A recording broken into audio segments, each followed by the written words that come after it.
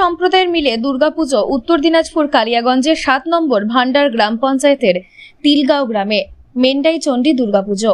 কয়েকশো বছর পুরনো দুর্গাপুজো। গ্রামবাসীরা বলেন, এই জায়গাটা আগে জঙ্গল ছিল। জঙ্গলের মাঝে পুজোর আয়োজন করা হতো। মন্দিরের একদিকে হিন্দু সম্প্রদায়ের মানুষ ও একদিকে মুসলিম সম্প্রদায়ের মানুষ বসবাস করে। মাঝখানে এই মা মেন্ডাই চণ্ডীর মন্দির।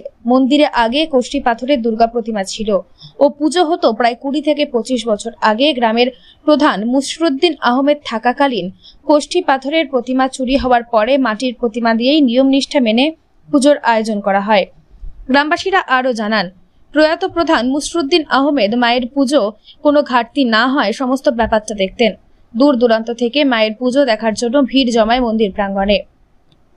উত্তর দিনাজপুর থেকে রাধা রানীর বিশেষ রিপোর্ট।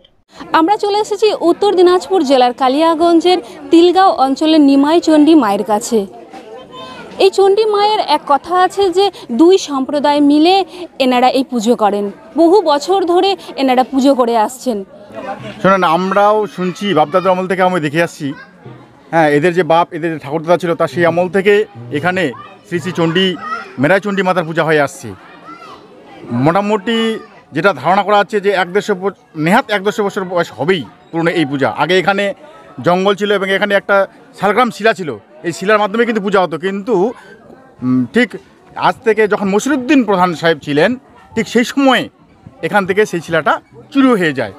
মানে এখানে এমন একটা পূজা, এখানে এই জায়গাটাতে হচ্ছে তিলগা, পাশাপাশি হিন্দু, মুসলিম সবাই সহযোগিতা একসঙ্গে বসে মানে যাকে বলে ঐতিহ্য কৃষ্টি কালচার সেখানে আমরা এই সাম্প্রতিক পূজাটা কিন্তু সম্প্রীতির পূজাটা আমরা এখানে দেখতে পাচ্ছি। দীর্ঘদিন থেকে। শুধু এখানে না মানে আশেপাশের গ্রাম থেকে। আশেপাশের বিভিন্ন গ্রাম থেকে হেমতাবাদ কালিয়াগঞ্জ কুসুমুন্ডি থেকে এখানে কিন্তু লোক পুজো দিতে আসেন। পূজাটা কোন গ্রামে হয়? এটা তিলগা এটা তিলগা। কালিয়াগঞ্জ তার ভান্ডার অঞ্চলে তিলগা গ্রামে এটা পূজা হচ্ছে। শোনা যাচ্ছে আর কি লোকমুখে শোনা যাচ্ছে যে কাকর সিংহে যে চণ্ডী উতমাই চণ্ডী মাতা তারই এক বোন হচ্ছে এই মেরাই চণ্ডী মাতা। এই বংশ পরম্পরায় এরা কিন্তু দীর্ঘদিন ধরে পূজা করে আসছে। এবং এখানে নিয়ম নিষ্ঠা সহকারে প্রতি বছর পূজা হয়। মায়ের কাছে আসলেই মনস্কামনা পূর্ণ হবে। আর এখানে বিশেষত্ব আছে যে মায়ের কাছে বলি হয়। সেই সম্পর্কেই আমরা শুনব ক্লাব ইয়ে পুজো উদ্যোক্তার সঙ্গে।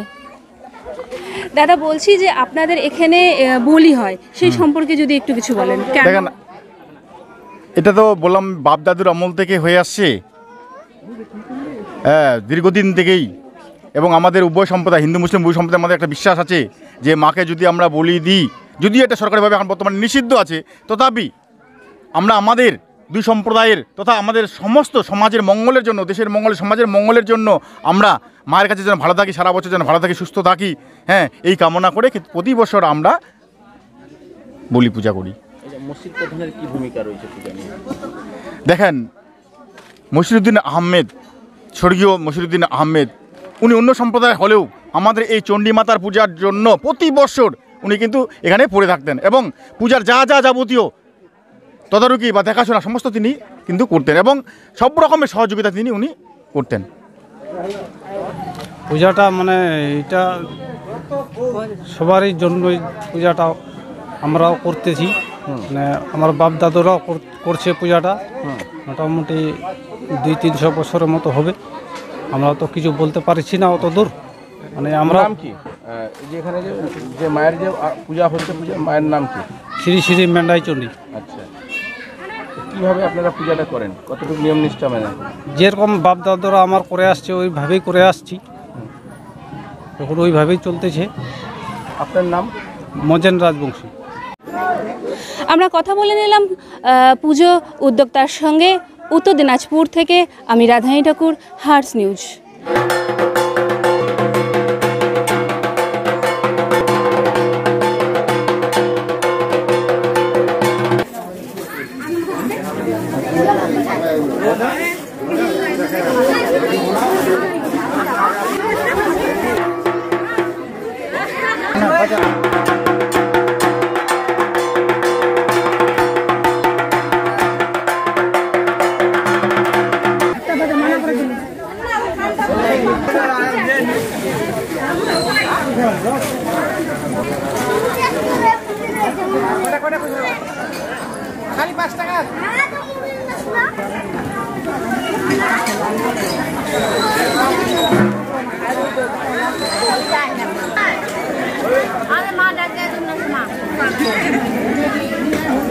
Cái thế này. Dạ dạ dạ. dạ. Ai nó kia đấy. Học rồi đấy. Ê, anh nào đi kia mà. Dạ, cái đấy. Như tôi. Hãy subscribe cho kênh Ghiền Mì Gõ Để không bỏ lỡ những video hấp dẫn